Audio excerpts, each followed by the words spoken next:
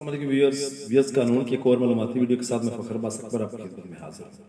Yes आज का हमारा मौजू है कि एफ़ आई आर में जुर्म लगाए कैसे जाते हैं डिलीट कैसे किए जाते हैं एफ़ आई आर में तब्दीली कैसे की जा सकती है। व्यूअर्स हमारी वीडियो देखने से पहले हमारे चैनल को सब्सक्राइब कीजिएगा और बेल आइकन को प्रेस कर लीजिएगा ताकि हमारी वीडियो ज़्यादा से ज़्यादा लोगों तक पहुँच सके और हमारे, हमारी अफजाई हो सके और तमाम लोगों की रहनमाई हो सके।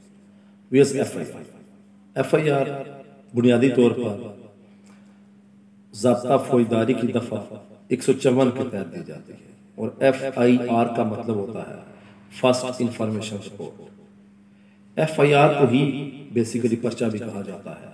आम जबान में उसे लोग कहते हैं कि फलां ने फलां पर पर्चा कटवा दिया।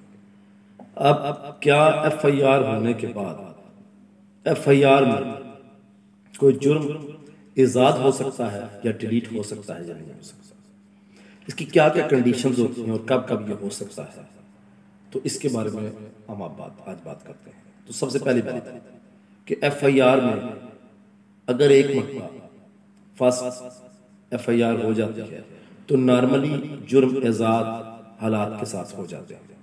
मसलन, एक एफ़ आई आर हुई जो बुनियादी तौर पर एक झगड़ा हुआ और 324 की एफ़ आई आर हुई और बंदा जख्मी अब शुरू में पुलिस ने एक एफ़ आई आर लॉन्च कर दी। बंदा जख्मी था और वह अस्पताल में गया। दूसरे दिन उसकी डेथ हो जाती है।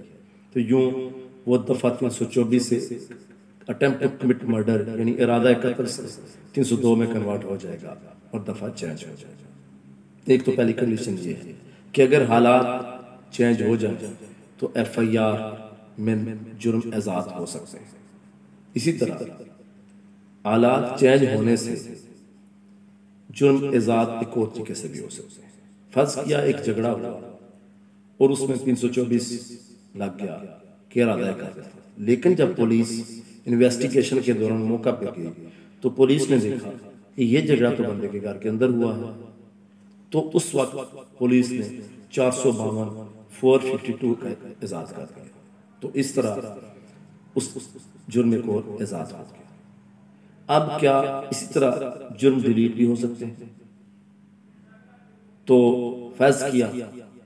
बुनियादी तौर पर दो मुलजमान किसी ने नामजद किए कि ये दो मुलजमान थे तो इन्होंने झगड़ा किया है और पुलिस ने तीन सौ चौबीस बटा चौंतीस लगा दिया। चौंतीस कॉमन इंटेंशन दो की तो लगा दिया। लेकिन ड्यूरिंग इन्वेस्टिगेशन पुलिस में यह साबित हो गया कि एक मुलजम तो वहाँ पे था ही नहीं। उसकी कोई एविडेंस मिल गई सीसीटीवी मिल गई या कोई भी उसकी एविडेंस मिल गई कि वो तो बहुत दूर नौकरी पे था। उसको तो गलत नामजद किया गया है। जब पुलिस ने एक को डिस्चार्ज किया मुकदमे से तो दफ़ा चौंतीस जो थी वो खत्म हो जाएगी, क्योंकि वो कॉमन इंटेंशन थी। एक निकल गया तो एक पीछे बच गया। एक कॉमन इंटेंशन वो अकेला मुलजम तो इस तरह दफ़ा खत्म भी हो सकती है। अब इससे अगली स्टेज एक होती है, जब पुलिस चलान जमा कराती है कोर्ट में प्रोसिक्यूशन ब्रांच में, कोर्ट में जाने के लिए तो जो सरकारी वकील प्रोसिक्यूटर होता है, वो भी ये कह सकता है कि आपको ये दफ़ा लगानी चाहिए थी और इन्वेस्टिगेटिंग ऑफिसर जो आईओ होता है, वो अपनी तफ्तीश को देखकर उसमें जुर्म एजाद या कमी कर सकता है। वो एक स्टेज होती है। बुनियादी तौर पर सबसे ज़्यादा लिबर्टी दफ़ा लगाने की या ना लगाने की वो आईओ के पास जो तफ्तीशी होता है उसी के पास है। हम इससे आगे आ गया चलान सबमिट कोर्ट में हो गया। और कोर्ट ने देखा कि ये चार्ज तो इस दफे का बनता है। तो पुलिस के पास पुलिस के पास कोर्ट के पास तो अनलिमिटेड पावर है। वो जो जैसे वो मुलजम को बरी कर सकती है। इसी तरह वो किसी भी स्टेज पे शुरू में ये दफ़ा लगा सकती है कि फलां दफ़ा इसमें लगना चाहिए और वो चार्ज फ्रेम कर सकती है।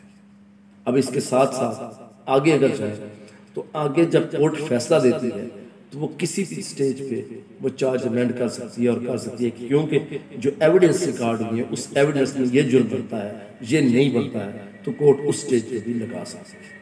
तो ये कुछ बुनियादी चीज़ें होती हैं कि को एफ़ आई आर में जुर्म एजाद कैसे होता है और एफ़ आई आर में से जुर्म डिलीट कैसे हो सकता है।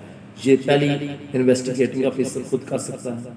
उसके बाद जब वो चलान सबमिट करता है तो उसको तजवीज़ कर सकता है एडवाइस कर सकता है, प्रोसिक्यूटर। उसके बाद कोर्ट भी इट सेल्फ खुद अनलिमिटेड पावर्स है। ट्रायल कोर्ट वो देख सकती है और वो चार्ज को अमेंड कर सकती है, दफ़ा इजाद या डिलीट कर सकती है।